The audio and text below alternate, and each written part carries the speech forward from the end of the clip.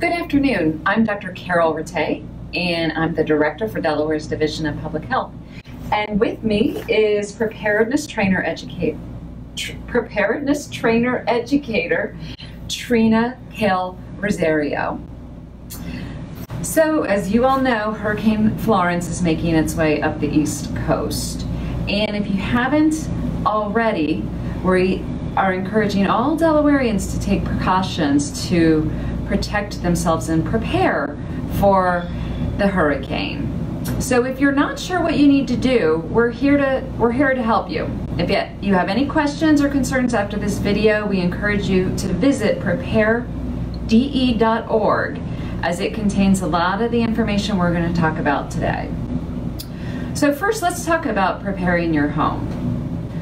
You want to make sure that all outdoor furniture, decorations, garbage cans, anything that's loose outside is brought inside in a safe place where it's not going to blow around.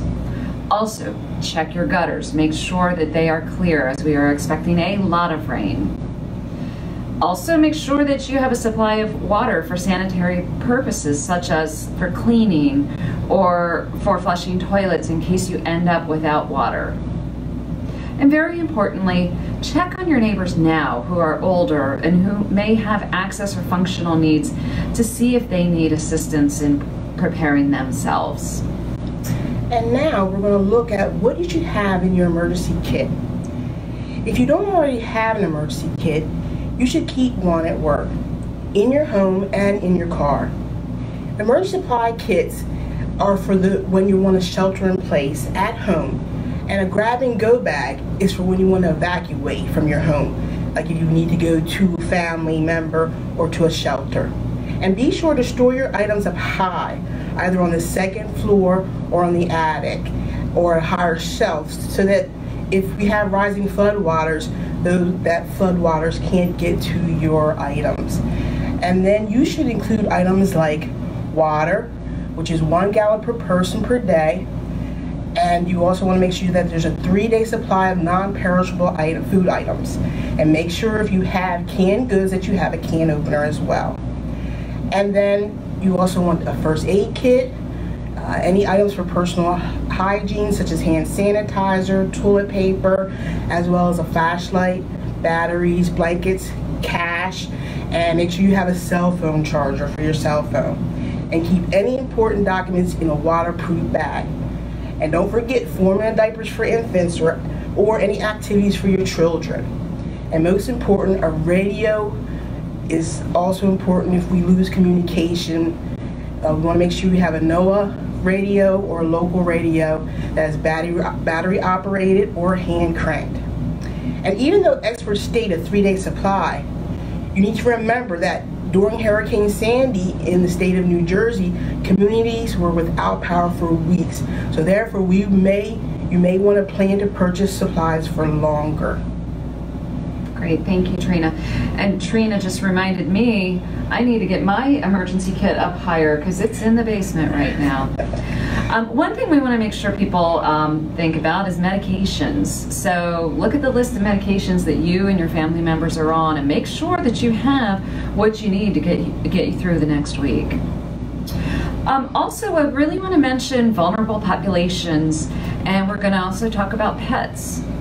So for those who have access and functional needs, if you have not already, make sure you Google Delaware Preparedness Buddy and fill out the information in the brochure, which includes things like emergency contacts, your medications and the doses, your primary care physician, as well as allergies, transportation requirements, as well as needs for service animals and a checklist of essential items. You're also going to want to make sure that um, that you have an emergency kit as well.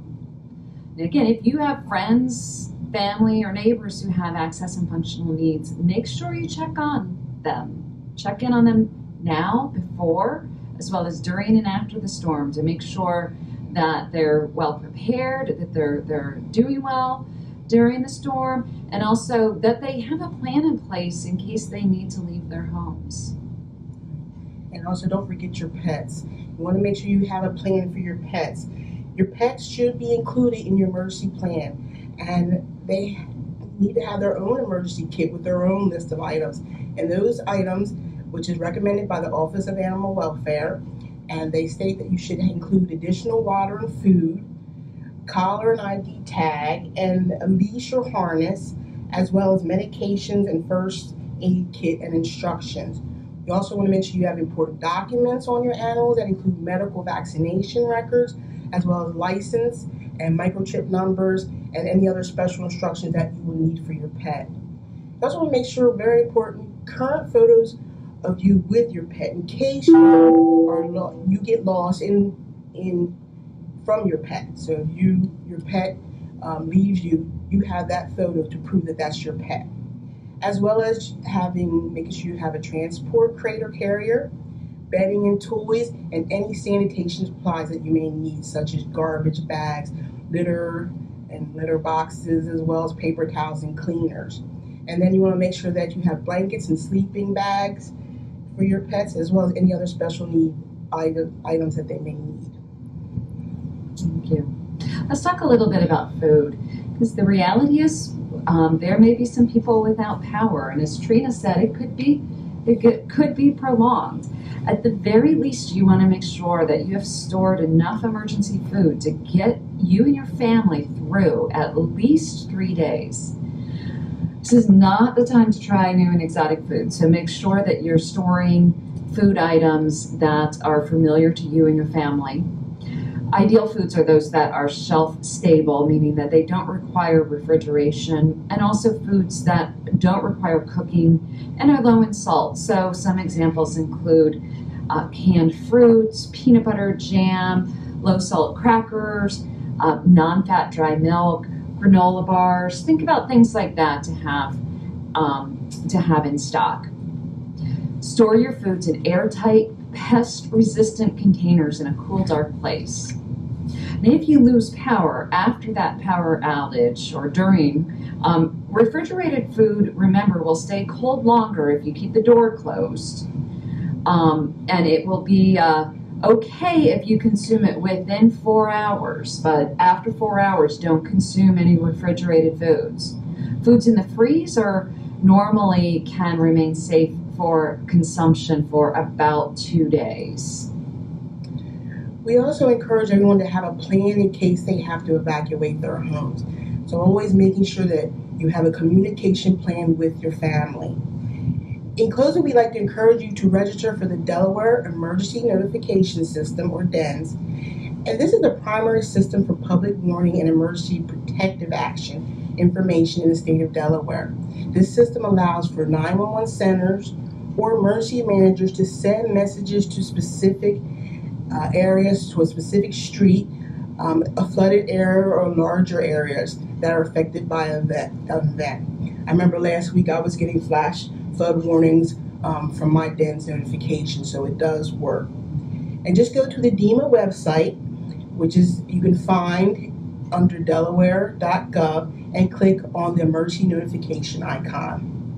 Great. Thank you, Trina. And thanks to all of you for joining us today. Remember to visit preparedde.org for more information on emergency preparedness. Have a great day.